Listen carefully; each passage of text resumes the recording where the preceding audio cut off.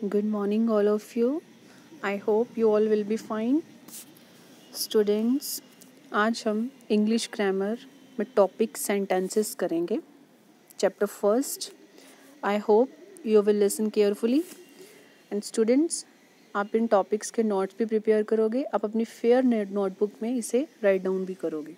So let start our topic sentences sentences means वाक्य. First of all we will do the definition of the sentence.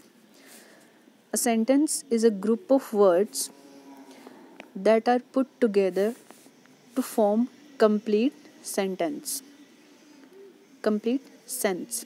Sentence क्या होता है a group of words मतलब कुछ एक words होते हैं जिन्हें हम कंबाइंड करके रखते हैं जिसकी जो सेंस है वो कंप्लीट होती है A sentence is a group of words that are put together to form complete sentence called sentence. A sentence is made up of two parts, a subject and a predicate. Sentence के कितने parts होते हैं? Two subject और predicate तो subject क्या है?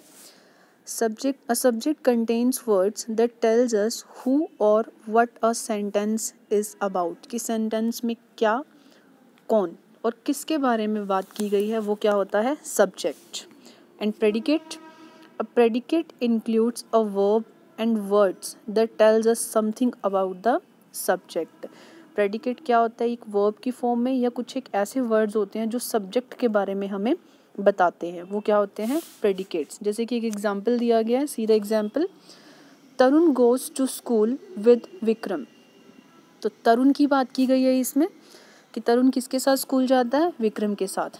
तो तरुण क्या है? सब्जेक्ट तो underline words Tarun is a subject और तरुण को छोड़ के बाकी जो भी टॉपिक इस सेंटेंस में रह गया, जैसे कि goes to school with Vikram तो यहाँ पे किसकी बात की गई है? तरुण की।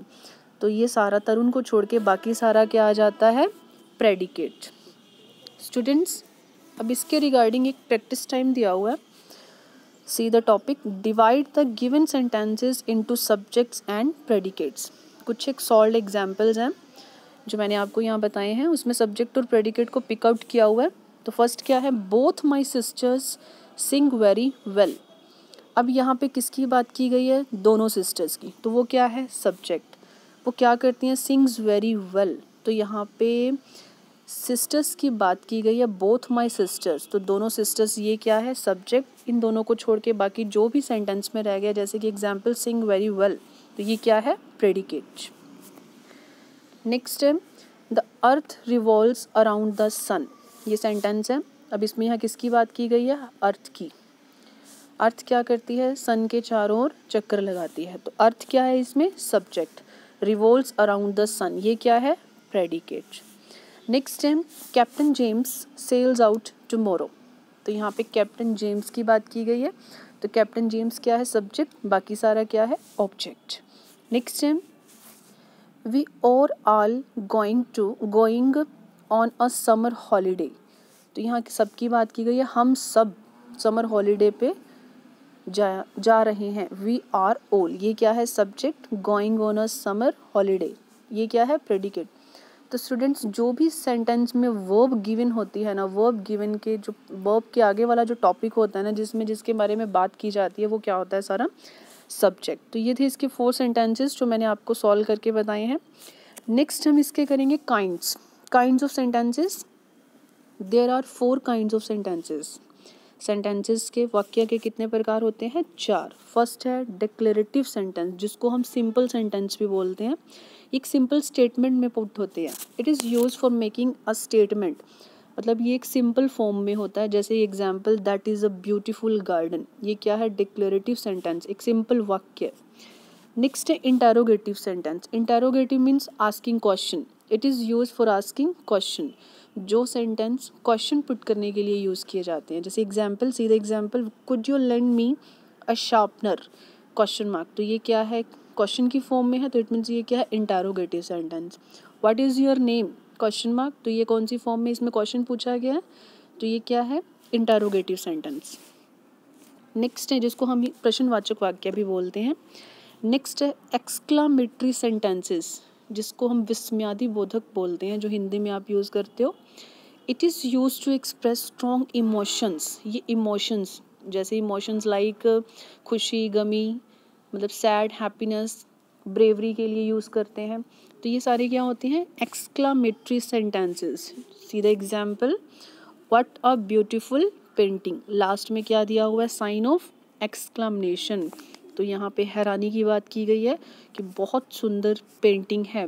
तो ये क्या है? एक्सक्लामेटरी सेंटेंस नेक्स्ट है इम्पेरेटिव सेंटेंस इम्पेरेटिव सेंटेंस क्या होता है? It is use to give a command जब हम किसी को कमांड देते हैं, कोई advice and to make a request और जब किसी से रिक्वेस्ट की जाती है, वो सारे क्या होते हैं? इम्पेरेटिव सेंटेंस और आप एक चीज़ को माइंड में रखोगे इम्पेरेटिव सेंटेंसेस में सब्जेक्ट गिवन नहीं होता। सीधा एग्ज़ाम्पल शट द डोर अब इसमें क्या बात की गई है? कमांड दी गई है कि शट द डोर दरवाजे को बंद करो। नेक्स्ट में क्या है? Walk carefully on the road अब ये एडवाइस दी गई है, आपको सलाह दी गई है कि हमें रोड पे बड़ी सावधानी से चलना चाहिए। Please stop shouting in the library इसमें रिक्वेस्ट है, जब भी प्लीज़ वर्ड गिवन है इट मीन्स उसमें रिक्वेस्ट की गई है कि लाइब्रेरी में चिल्लाना बंद करो, आपसे रिक्वेस्ट की जाती है। नेक्स्ट इसके रिगार्डिंग एक प्रैक्टिस टाइम है। Rewrite the given declarative sentences as interrogative sentences मतलब आपको सिंपल सेंटेंस दिए हुए हैं। सिंपल को आपने क्वेश्चन की फॉर्म में मतलब इंटारोगेटिव सेंटेंसेस में चेंज करने हैं। See the first example the large boat crossed the river अब ये सेंटेंस सिंपल है। इसको हमने चेंज करना है इंटारोगेटिव मतलब क्वेश्चन की फॉर्म में। जब भी सेंटेंस क्वेश्चन की फॉर्म में होता है, उसमें जो हेल्पिंग वर्ब है, वो हमेशा सब्जेक्ट से पहले यूज़ की जाती है।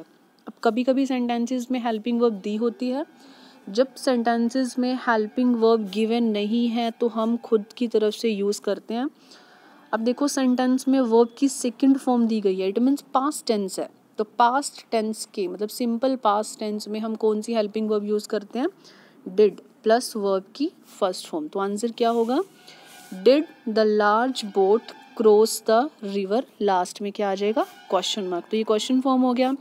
अब सेकेंड सेंटेंस में क्या दिया गया? है all of us are going out for dinner अब देखो यहाँ पे आर हेल्पिंग वर्ब गिवन है। तो इंटेरोगेटिव फॉर्म में आर को सब्जेक्ट से पहले यूज़ करेंगे। Are all of us going out the dinner last में क्वेश्चन में बाकी क्वेश्चन की फॉर्म जो होगी, बाकी सेंटेंस की फॉर्म वो सेम रहेगी। बस क्वेश्चन वर्ड को हम पिक आउट करके उसको हम सब्जेक्ट से पहले राइट करते हैं। नेक्स्ट है I don't know how to work on a computer अब इसको इंटेरोगेटिव फॉर्म में चेंज करना है। हेल्पिंग वर्ब गिवन है इसमें डू तो डू को हम सब्जेक्ट में चेंज कर सब्जेक्ट से आगे राइट करेंगे।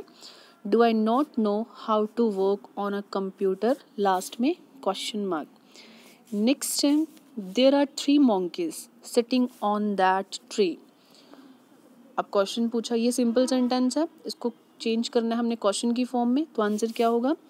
Are there three monkeys sitting on that tree last में क्या आ जाएगा? क्वेश्चन मार्क तो ये थे इसके कुछ sentences next one more topic about phrases कि फ्रेजेस क्या होते हैं? ये भी एक सेंटेंस होते हैं बट ये इनकम्प्लीट सेंटेंस होते हैं। इसकी जो सेंस होती है, वो इनकम्प्लीट होती है। A phrase is a small group of words it doesn't make complete sense by it मतलब इसकी अपने आप कोई भी कंप्लीट सेंस नहीं होती। विदाउट सब्जेक्ट इसकी सेंस इनकम्प्लीट होती है। A phrase may be a noun जो फ्रेज होते हैं, वो नाउन भी हो सकते हैं वर्ब भी हो सकते हैं एडजेक्टिव भी हो सकते हैं एडवर्ब भी हो सकते हैं प्रपोजिशनल में फॉर्म में भी हो सकते हैं। सीधे example the pen is laying on the floor sentence में ऑन द फ्लोर क्या है? फ्रेज अब देखो आप सेंटेंस बाकी सेंटेंस को छोड़ के ऑन द फ्लोर सेंटेंस को देखोगे, इन वर्ड्स को ग्रुप ऑफ़ वर्ड्स इसकी कोई भी सेंस नहीं है मतलब ये इनकम्प्लीट सेंस में है। ये जो वर्ड है, ये जो ऑन द फ्लोर वर्ड्स हैं फ्रेज हैं, ये इस सेंटेंस के बिना इनकम्प्लीट हैं। तो फ्रेजेस वो होते हैं जिनकी जो सेंस होती है, वो अपने आप में कंप्लीट नहीं होती। Here on the floor is a phrase as the word stand together but they need the rest of the sentence लेकिन उनको बाकी बचे हुए सेंटेंस की ज़रूरत पड़ती है to convey the complete meaning sentence का कंप्लीट मीनिंग निकालने के लिए। A phrase may may or may not have a verb ये एक वर्ब की फॉर्म में हो भी सकते हैं और नहीं भी हो सकते। तो स्टूडेंट्स आज हमने सेंटेंसेस और फ्रेजेस के बारे में रीड आउट किया। आई होप आप सभी को ये समझ में आया होगा। और आप इन टॉपिक्स को राइट डाउन भी करोगे और आपकी जो इंग्लिश ग्रामर की बुक में इसके रिगार्डिंग प्रैक्टिस टाइम दिया हुआ है, इसके रिगार्डिंग जो एक्सरसाइज वर्क है अब वो बुक एक्सरसाइज को सोल्ट आउट भी करोगे। बाकी के जो नेक्स्ट टॉपिक्स हैं जो नेक्स्ट एक्सरसाइज है वो हम नेक्स्ट वीडियो में डिस्कस करेंगे. Thank you